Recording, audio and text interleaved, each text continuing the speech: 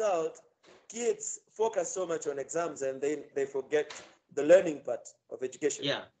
When you're in school, you have to learn how to manage your life, how to solve problems, how to make things happen.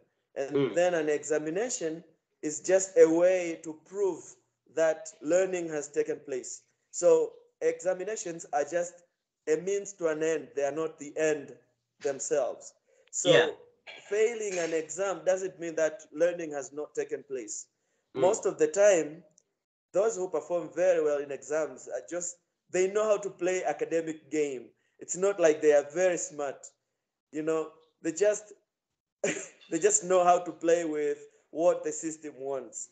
So, but then uh, you realize that you have people who are very smart and they can do so many other things, but then you know they don't have that those examination skills.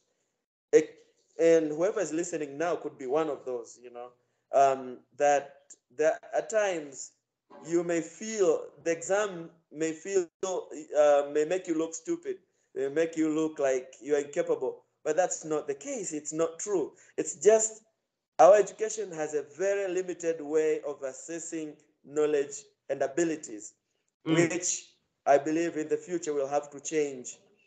And so there are many things that people are doing and they have completely nothing to do with their grades. And so one shouldn't fix their lives on a, pap- a letter grade. No. When you go to school, enjoy the learning journey.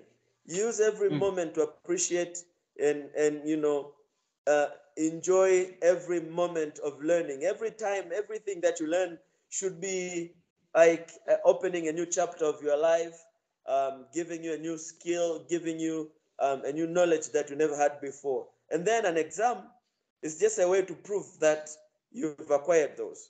But it's it, it, doesn't really um, have to do with how much you know. So yes, the world now is looking for what we can do